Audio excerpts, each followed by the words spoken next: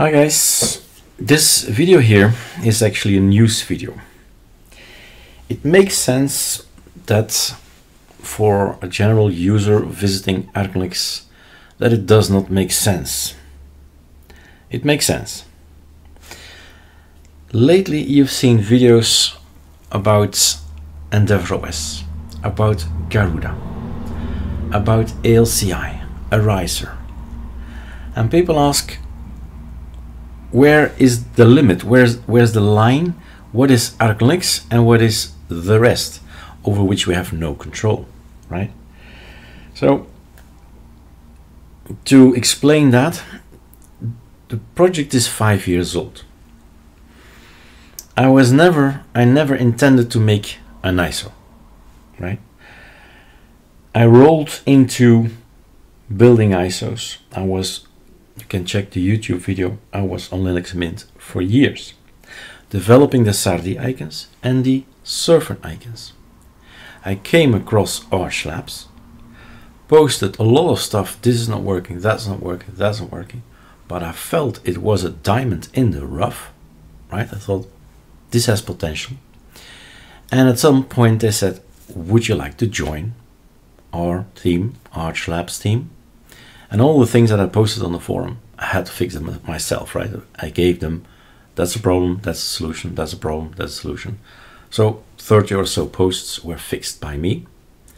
Then the ISO developer, the, the, the guy who made the Archlabs ISO, was gone. Eric, can you do that? I don't know, never done that before. I started building ISOs.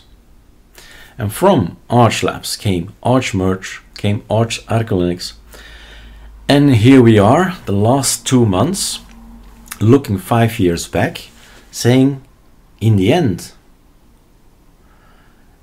all we've, what we've done and all the projects that we've done, there are, and that's maybe a good place to go back to the beginning, all the things that we've done, we have now 42, we've explained, eh, 42 ways to install Arch Linux.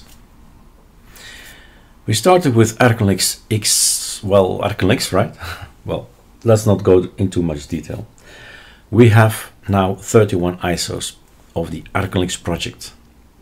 Next to that, we have the ArcoLinux ISO, because you wanted to know how do you even create this? How do you start from scratch with, and that's the basic uh, tool for to create an ISO, Arch ISO how do you start with Arch ISO and then build up? So I see it as an, an, a big Lego blocks box and I choose my pieces all the time and put this, put this there and we have this, this um, black, uh, no, black or right, uh, red square and each of the Lego blocks go onto like a motherboard on the PC, right? And you place everything and you've got a distro. So ArcoLinux came to existence. In the meantime, there's XS and XL and XS LTS. You read, it's all here, right? I keep to the big lines. So Carli is how to make it from scratch. Six, uh, sorry, 11 Carli versions just to read and to watch. It's Netflix, right? It's just binge watching. Ariser is no Calamares at all. That's a project of um, Pico. Pico made a script. And I thought, what if I put that script on an Arch Linux ISO? And I gave it a name, Ariser, previously called AA ISO. So that's pure Arch. You run your script, you've got Arch Linux. ALCI is back to Calamares, but it's also pure Arch. But we want to have something graphical. Ariser is, is black screen and like the Arch Linux installation, but with a script. So seven ISOs here in the ALCI project. So you follow each of these links and then it becomes hopefully clear. There is of course the Arch Linux ISO and there's the way to install it with go type every, every command, which is super difficult if you are new to Linux. And that's the first thing you need to do type commands and follow Arch Wiki, it's impossible. But if you follow our tutorials, maybe, right? That will be better. And the last is the Arch install. They have also a script.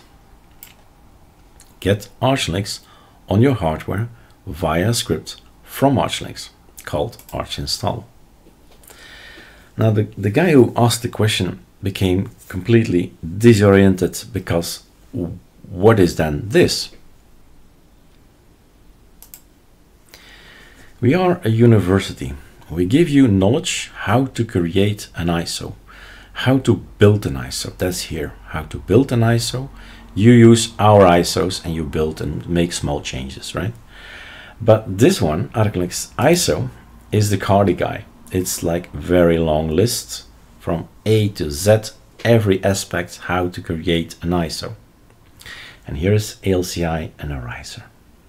But he saw this create your own distributions. So with all the knowledge that we provide, and it does not have to happen overnight, right? Give yourselves years of study into this ArcoLinux project and you'll know how to maintain an Arch Linux based system. And it will be yours. And you can build ISOs and you can do any kind of things. Some of these guys are so far ahead with their knowledge they can actually make their own ISO and a spin-off. We call it spin-off from ArcoLinux or Carli or LCI because all these videos on all these websites will help you to build an ISO. So these are just references that I just added this to the line here. Projects will cease to exist.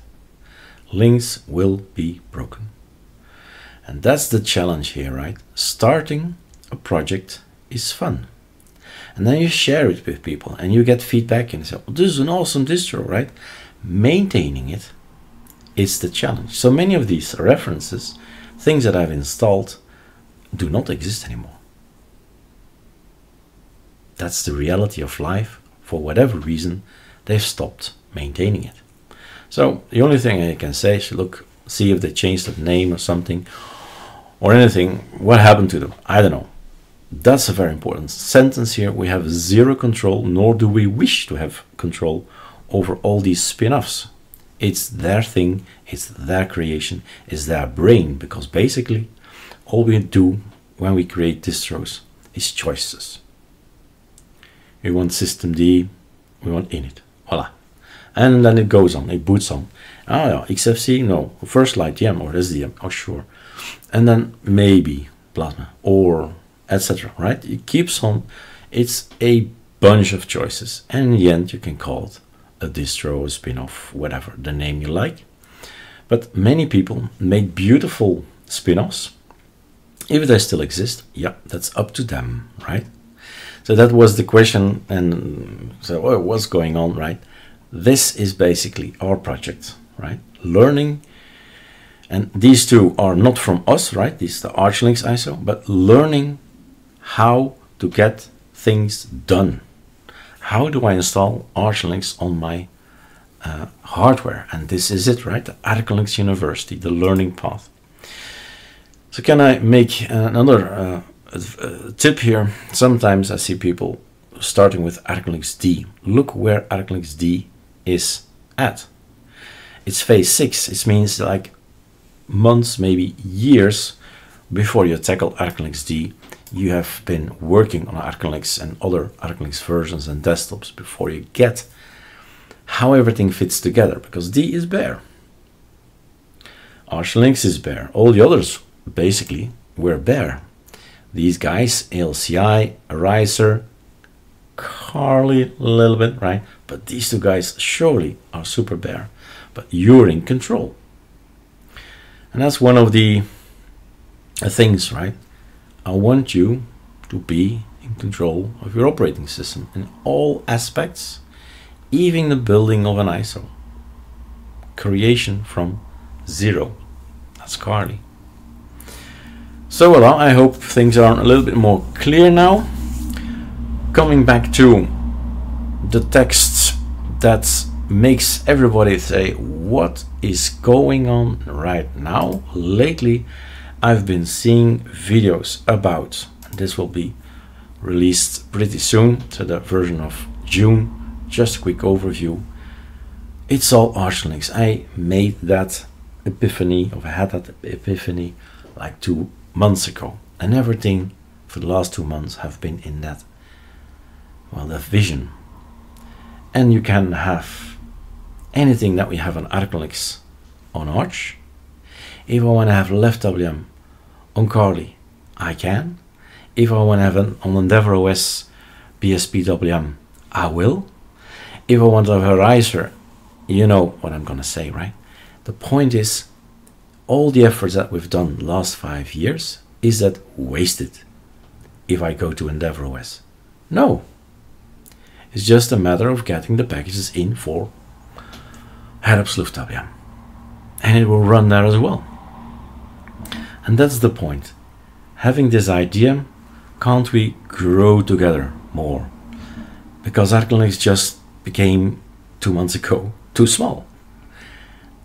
Why not make the ArcoLinux tweak tool an ArchLinux tweak tool, the ArcoLinux logout, an ArchLinux logout, so I can take it with me. So basically, I have this this briefcase, right? I take this briefcase and I say, okay, now I'm going to Riser. I'm going to have my Firefox, and I have gonna have Pipewire maybe, and I'm gonna have this and this and that and that, right? I just take with me what I want to any ArchLinux based ISO, but we're gonna restrict ourselves to these seven at first, right? So that's what's happening. That's what's behind this these strange things on YouTube. Me making videos on Endeavour OS and Garuda and all on LCI. I'll tend to do more on LCI. I still have to make one later on, right? So so that makes sense that please stop thinking in boxes in names.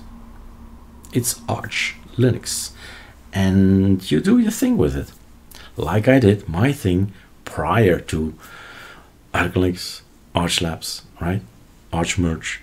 Prior to all that, I did Linux Mint, and I did my thing with it too. Make it beautiful with the Arc theme, icons, and such more. Add, uh, add applications, remove applications. That's the point. Start with whatever ISO you, you, you like, whatever distro you like, and then do your thing with it. So it's probably boils down to this need, urge to have the freedom to start with whatever I like and then have whatever I like. And the Arch Linux tweak tool can help me with that. All right, cheers.